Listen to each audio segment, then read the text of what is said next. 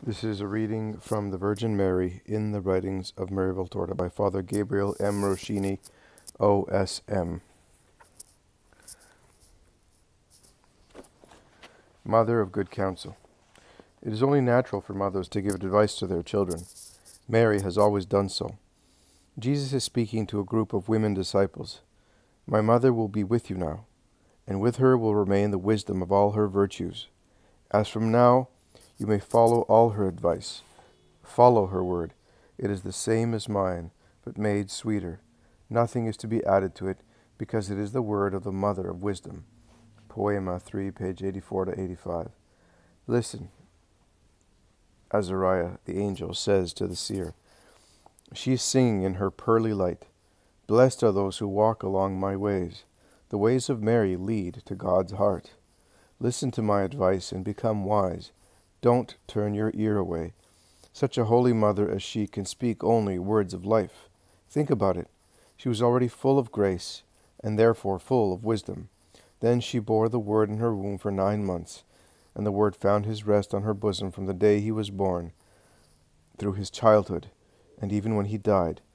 How much grace did he leave in her after spending thirty three years so close to her heart?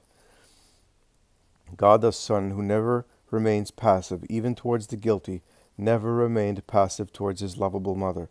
That is why all his wisdom was united to all her purity, and Mary can speak but the word of God, the very word which Christ said was life for those who listen to it. Azariah, page 345.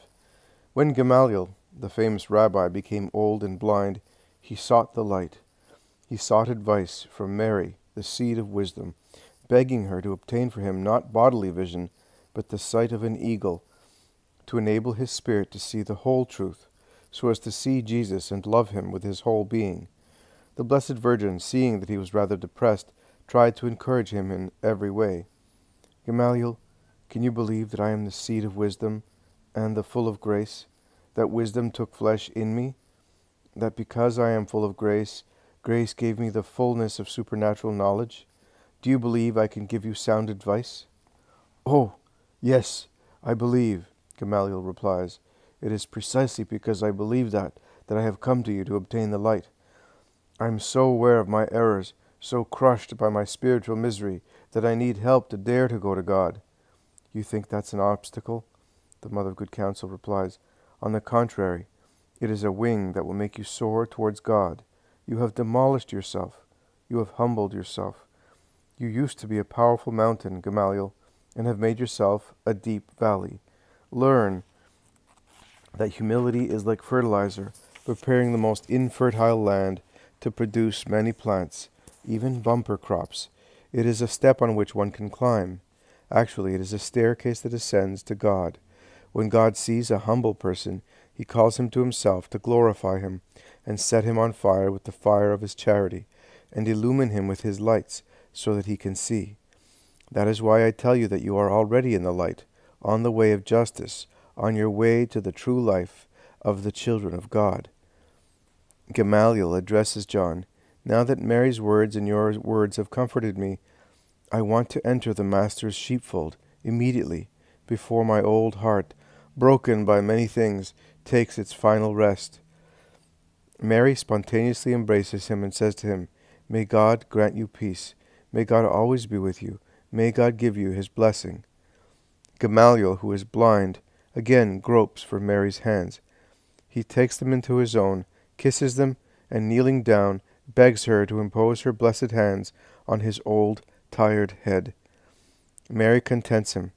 Then she helps him to stand up.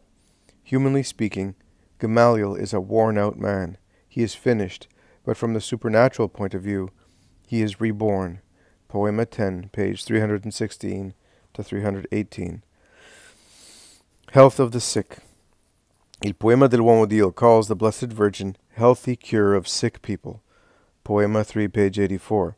One day, in the second year of his public ministry, Jesus was in Judas's house in Kerioth. Judas drew his attention to a lame man who wished to be healed. Since it was not possible to carry him over, he urged Jesus to come along with him to see the man. Jesus answered, Tomorrow, Judas, tomorrow morning, definitely, and if there are more sick people, tell me or bring them here. At this time, the Virgin Mary and Simon Peter came in. Mary greeted Jesus, and then Judas's mother, who had bowed low. Mary lifted her up and embraced her, as if she was a dear friend she had not seen in a long time. Our Lady was arriving from Bethsur, where she had been with Jesus a few days before to visit Eliza, a widow. Eliza was a former companion of Mary's at the temple. Her two children had died, which plunged Eliza into a deep desolation. She had withdrawn into her room in profound despair. Jesus comforted her and left his mother with her for a few days. Poema 3, page 472 to 482. Mary's affectionate presence gave life and vigor to this wilted flower. Mary then left Eliza and met with her son in Judas, Judas's house in Kerioth. Handing him a little scroll, she said, Here, son, Eliza's greetings. Jesus unfolds it and reads it, then says, I knew. I was sure. Thank you, mother, on my behalf and on Eliza's. You really are the health of the sick. Ibid, page 519. On another occasion, Judas Iscariot was gravely ill and experienced Mary's affectionate motherly care. Later on, he said to Jesus that he never felt the desire for his mother, not even in the worst hours of his disease, because your mother was a real mother to me. She was kind and loving, and I will never forget it, he said. Poema 4, page 629. Mother of Orphans. In the first year of his public ministry, while visiting his mother in her home in Nazareth, Jesus brought her two orphans, shepherd helpers from Bethlehem. O mother, I found the shepherds of Bethlehem, and I brought you two of them. They are orphans, and you are the mother of all men, and more so of orphans. Poema 2, page 318. The next day he entrusted them to her, saying, Here are two sons looking for a mother. Be their joy, woman. You are welcome. Mary explains, You, Levi, you? I do not know, but according to your age, as he told me, you must be Joseph. The name is sweet and sacred in his house. Come, come, it is with joy that I say to you, My house welcomes you, and a mother embraces you. The shepherds seem spellbound. They are so enraptured. Poema 2, page 323. Mary's encounter with Yabbe, a little orphan, is moving. Jesus took this little boy along and brought him from the Mount of Olives to Bethany, holding him by the hand. When they arrived, Jesus let go of the child's hand and ran to greet Mary. Yabbe felt left alone. He looks, then bends his head, endeavors to restrain his tears, but he cannot, and bursts out weeping, moaning, Mommy, Mommy. But before Yabbe can catch his breath and speak while shedding so many tears, Mary has run towards him and takes him in her hand, in her arms, saying, Yes, my little child, your mother. Do not cry any more, and excuse me if I did not see you before. My friends, here is my little son. It is obvious this, that Jesus, in the few seconds while approaching the boy, must have said to her, He is a little orphan I brought with me. Mary realized the rest. The boy is still weeping, but not so disconsolately. And as Mary is holding him in her arms and kissing him, he ends up by smiling, while his face is still wet with tears. Let me dry those tears of yours, Mary says to him. You must not cry any more. Give me a kiss. Yabbe was expecting nothing but that, and after being caressed by bearded men, he is overjoyed in kissing Mary's smooth cheek. Poema 3, page 381. Mary gave the child the name Margziam, later shortened to Marjiam. Ibid 391. This was a name of love and of salvation. Ibid 385. It meant little drop in the sea of those saved by Jesus. Ibid 385. Later she intervened to have him entrusted to Peter and his wife Porphyrea, Ibid 398 to 400, footnote 126. See the account of Mary's intervention on page 203. Editor. He eventually became a fervent disciple and preached the gospel of Jesus. Comfort of the afflicted. Mary speaking. I cannot bear to see anybody suffer. Poema 4, page 765. She could not even bear looking at the slaughter of a lamb because she would think about its mother's heartbreak. It tears my heart to see a mother tortured, she says to the shepherds of Bethlehem of Galilee. But, woman, if all the lambs were to live, there would be no room for us on the earth, says the oldest shepherd. I know, but I am thinking of their pain and the pain of their mothers. They weep so much when their little ones are taken away from them. They look like real mothers, like us. A mother's grief is different from any other because the shock for the loss of a son tears not only our hearts and brains, but our very wombs. We mothers are always united to our sons, and it rends us completely when they are taken away from us. Ibid. At that precise moment, a small detachment of soldiers passed by, entering Bethlehem of Galilee to take a son from his mother. They wanted to put him to death on the calumnious charge of killing a rich man by the name of Joel. Hearing about this, Jesus says, I see. Let us go, my friends. You women stay here with the shepherds. I shall be back soon. No, son, Mary says to Jesus, I am coming with you. Jesus is already walking fast towards the center of the town. The woman is still contending for her son with the guards. Leave him! Murderers! He's innocent! That the night Joel was killed, he was in bed beside me. The guards, however, wrench her son away from her, and the poor woman falls on the ground, swooning. Jesus stops before the group of captors. Stop for one moment. I order you. His countenance allows no objection. Ibid, page 766 to 68. He vigorously attacks the witness's false testimony. Meanwhile, the Blessed Virgin and Mary of Alphaeus, Alphaeus help the unconscious mother. The accused swears he is innocent. The accusers commit perjury. Suddenly, the accused and the accusers scream out at the same time. The accused, a scream of surprise. The accuser, a cry of horror. The accusers' faces were instantly covered with horrible leprosy, while the accused remained healthy. Jesus takes the young man by the hand and leads him away from the lepers. Everyone else, including the soldiers, move away. Jesus orders the young man to go back to his mother. After a brief, after a brief speech to the lepers and to the other people, Jesus joins his mother and Mary of Clopas, who are still attending to the woman, slowly coming to. The poor mother gazes at the loving countenance of Mary, comfort of the afflicted, and recovers her strength. Her son pats her cold hands and kisses them. After expressing motherly concern for her vindicated son, she takes Jesus' hand, kissing and wetting it with tears. She then says to him, My son's life and mine are yours, because you have saved them. Jesus replies to her, You will follow your son and me. Be happy. Poema 4, page 768 to 71. It would be difficult not to conclude this insight into Mary's universal motherhood without exclaiming, along with Jesus, the firstborn among many brothers, How motherly you are! You are the mother. Poema 5, page 429. Mary, Queen of the Church.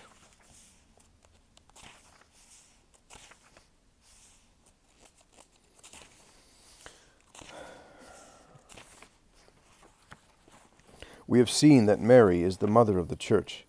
As mother of the mystical body of Christ, she communicates supernatural life to all its members. She does so with Christ, while being subordinated to him, as the neck is subordinated to the head. In the same way, with Christ and under Christ, Mary also exerts true dominion over all the members of the Church. Thus, Mary is the Queen of the Church. Since the Church is the kingdom of Christ, it is also Mary's. God, speaking to the angels and saints of heaven immediately after Our Lady's Assumption, For her I open the treasures of heaven.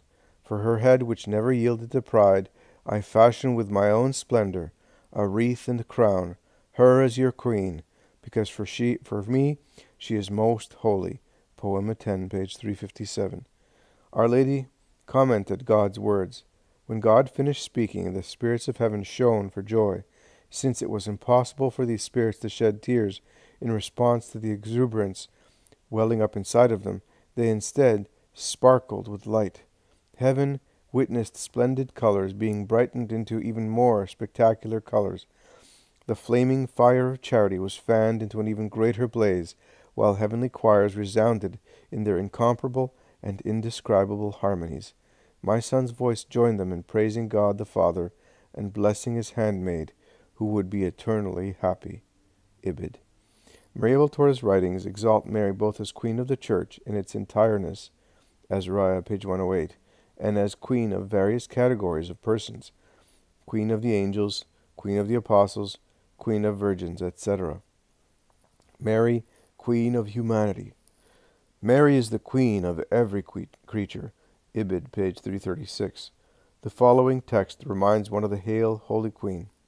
Jesus told his mother that innocent creatures would not be the only ones coming to her. Lepers, horrors, stench, a tangle of snakes, and foul things will creep to your feet, O Queen of mankind, and will shout, Have mercy, succor us, take us to your Son. Poema 3, page 84. On the night Jesus was born, the shepherds of Bethlehem prostrated themselves before Mary and said, Give us orders as our queen, because we will be happy to serve you. What can we do for you? Poema 1, page 203. The most elect part of the human race consists in the blessed, in heaven. That is why God calls Mary Queen of my paradise. Poema 1, page 34. The reason for this? Mary is the Queen Mother, the Mother of the King of Kings. Quaderni 43, page 590, November 27th. Mary, Queen of various categories of persons. Our Lady is proclaimed the Queen of Angels, Queen of Apostles, Queen of Virgins, Queen of Angels. In several passages, Maria Valtorta calls Mary Queen of the Angels, Azariah, page 108, 336, etc. Several times, angels call her our Queen, Ibid, page 262, 63, and 341. Shortly before her glorious assumption to heaven, Our Lady, as though remembering that she was the Queen of angels, spoke at length about them with John the Apostle. Everything is so peaceful. You too, be at peace. Everything is quiet, except for the olive trees, but their rustling is so light that it sounds like angels hovering about the house. Perhaps some angels are really here. After all, there has always been at least one angel close to me at key times in my life. They were with me in Nazareth when the Spirit of God made my virginal womb bear life. Angels were at Joseph's side when he was troubled, and did not know what to do with me when he found out I was with child. Matthew chapter 1 verse 18 to 25.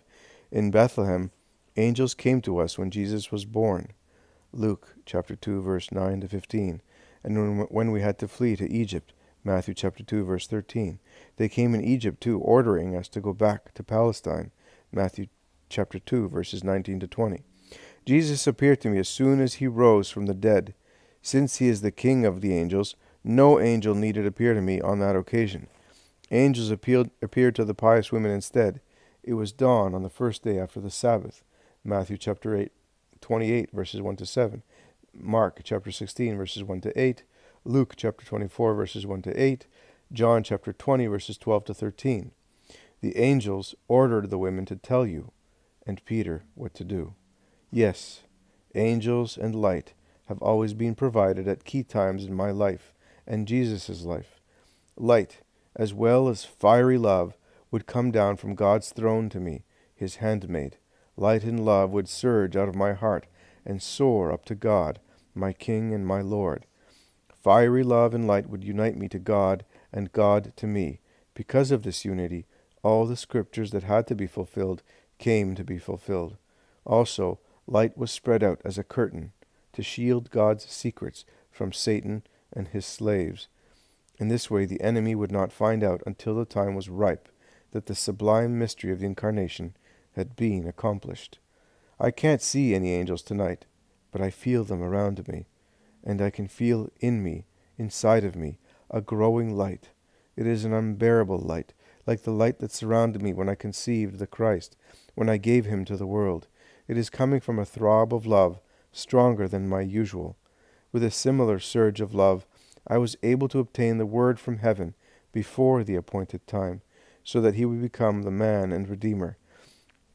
With a similar surge of love, like the one uplifting me tonight, heaven will hopefully ravish me and take me in my spirit to the place I pine for. There I could sing forever with the multitude of saints and the choirs of angels. I could sing my imperishable Magnificat, Luke chapter 1, 46 to 55, to God for the great things he has done for me, his handmaid. Poema 10, page 334 to 35. In the previous text, we have a host of angels hovering close to their queen. in the humble house in Nazareth. However, it was only the archangel who venerated his queen. Poema 3, page 73. Queen of the Apostles. After Christ's resurrection, especially on Pentecost Day, all the apostles considered Mary as their queen. Immediately after, Matthias was elected to replace Judas as an apostle. The other apostles took him to Mary, who was deep in prayer in her room. They wanted the new apostle to receive the word of salvation and election from the Mother of God. Poema 10, page 263. They also wanted him to pay homage to the Queen of the Apostles. Azariah, page 51, 108, and 111. Mary's dignity as Queen of the Apostles is particularly evident on Pentecost Day, when the Holy Spirit made his descent. Only the twelve, under Mary's direction, Ibid, page 158, are in the Eucharist room. Footnote 127. See note 96 on page 159, translator. The windows are closed and barred. The Virgin Mary is the only one sitting on a seat. Peter is sitting on a table couch on her right, and John on her left. Matthias, the new apostle, is sitting between Thaddeus and James of Alphaeus. In front of Mary there lies a wide, low chest made of dark wood. It is closed. Mary is wearing dark blue clothing. Under the tip of her coat, a white veil covers her hair. The others are bareheaded. Mary is reading slowly, out loud, from a scroll that she is holding open. The others meditate as they listen quietly. Once in a while, they reply when it is called for. Footnote 128. Mary, Mother of the Church, is leading the apostles in prayer. There is reading and listening, reciting and meditating, with active participation. Father Berti's note in the Italian Critical Edition, Volume 10, page 265, Note 5. Mary's face is transfigured by an ecstatic smile. Who knows what she can see that makes her eyes gleam like two bright stars, and her cheeks, normally the color of ivory, blush as if she was reflecting a pink flame. She is really the mystical rose. With her heads, with her head, their heads turned slightly, the apostles lean forward to look at her face. Meanwhile, she goes on reading with a soft smile. Her voice is like the song of an angel.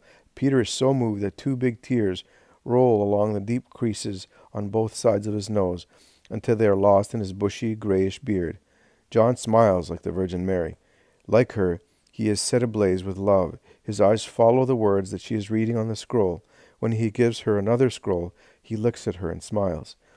Mary has ceased speaking. The reading is finished.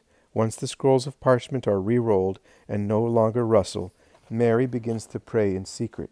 She joins her hands on her bosom and leans her head on the closed chest. The apostles imitate her. The morning's quiet is suddenly shattered by a mighty, harmonious rumble that reminds one at once of the wind and the harp, human singing, and the boom of a perfect organ. As it draws near, it sounds louder and even more harmonious. It fills the ground with its vibrations, which spread to the house, to the walls and objects. The candelabra's chains tinkle as they sway, because of the supernatural sound that flows by them. The flame, which had been still until then, until then, in the closed, peaceful room, trembles as if there was wind. The apostles, frightened, lift their heads. The mighty sound, very beautiful, contains all the nicest notes that God gave to heaven and earth. As it draws nearer, however, some of the apostles stand up, ready to run away. Others huddle on the ground, covering their heads with their hands and coats, or beating their chests and asking the Lord for forgiveness. Yet others huddle next to Mary, the most pure. They are too scared to keep at a distance from her, as they usually do. John is the only one who is not scared since he sees Mary's face beaming with great joy and luminous peace. Mary lifts up her head, smiling at something she alone can see. Smoothly going to her knees, she opens her arms. The two blue wings of her open coat covered Peter and John, who, like her, have knelt. I have taken a few minutes to describe all this, but it happened in less than one. Now, although the room is closed, all the doors and windows are shut. The light, the blaze, the Holy Spirit enters with one last thunderous, melodious crash. He appears in the shape of an extremely brilliant globe, blazing all around. When Mary sees the fiery paraclete, she raises her arms so as to invoke him. Her, her veil slips off as she lifts her head straight up with a shout of joy and a smile, expressing her boundless love. The Holy Spirit, in full blaze, hovers about three hand widths over Mary's uncovered head. For a short while, the fullness of the Holy Spirit's love rests above his spouse. After a moment, the most holy globe separates into thirteen dazzling, dancing flames. Footnote 129. It is perhaps significant that Maria Valtorta says that all the fire of the divine paraclete condensed itself and stopped over his spouse's virginal head, and there divided itself into thirteen flames. This passage illustrates God's conjugal love for the Blessed Virgin and hers for her Lord, as well as the office and power of the mediatrix who called and attracted on earth the Holy Spirit and merited its most fruitful descent. Father Berti's annotation in the Italian Critical Edition, Volume 10, page 266, Note 12. No light on earth compares with theirs. Twelve of the flames descend, as a kiss, one on each apostle's forehead. The thirteenth flame, however, does not alight on Mary as a tongue of fire kissing her on the forehead. Instead, a fiery wreath encircles her virginal head like a flaming crown. The daughter, mother, and spouse of God, the incorruptible Virgin, the most beautiful, the eternal child, the one who had been loved from eternity, is crowned as a queen. Nothing can vilify her in any way. Grief had aged her, but the joy of the resurrection rejuvenated her. Together with her Son, she now enjoys increased beauty, while her flesh, gaze, and vitality have been renewed.